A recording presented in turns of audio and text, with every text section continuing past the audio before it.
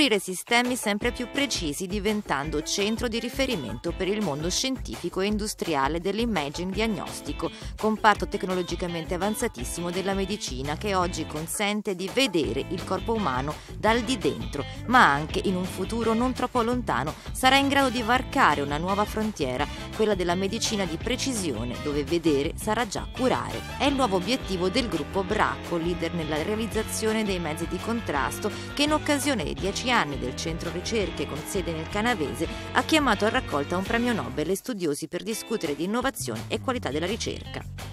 Possiamo fare oggi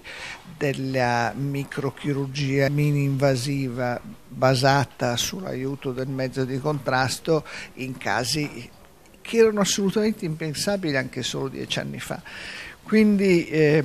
grandissima eh, crescita e grandissima crescita per il futuro. Noi riteniamo che eh, gli ultimi mezzi di contrasto, in particolare i mezzi di contrasto a um, base delle nostre microbolle per ultrasuoni, eh, siano possibili sonde in un domani per eh, colpire addirittura la eh,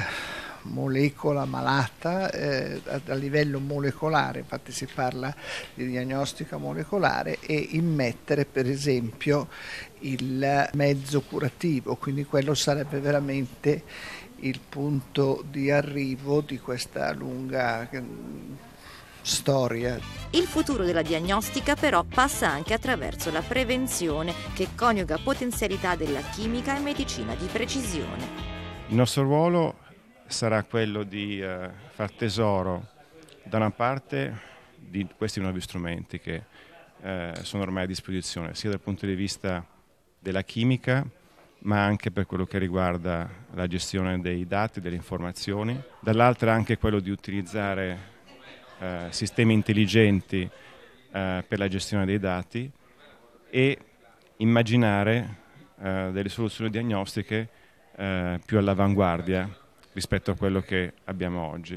Innovazione dunque, ma per superare il gap scientifico del Paese la sfida passa dalla collaborazione tra pubblico e privato. È uno degli obiettivi che mi sono posta, quella di riuscire a mettere a fattor comune le capacità di fare ricerca del pubblico, che sono eccellenti, con quelle del privato, che ha in più questa spinta dell'urgenza. La, eh, bisogna avere la spinta dell'urgenza. Questo lo dico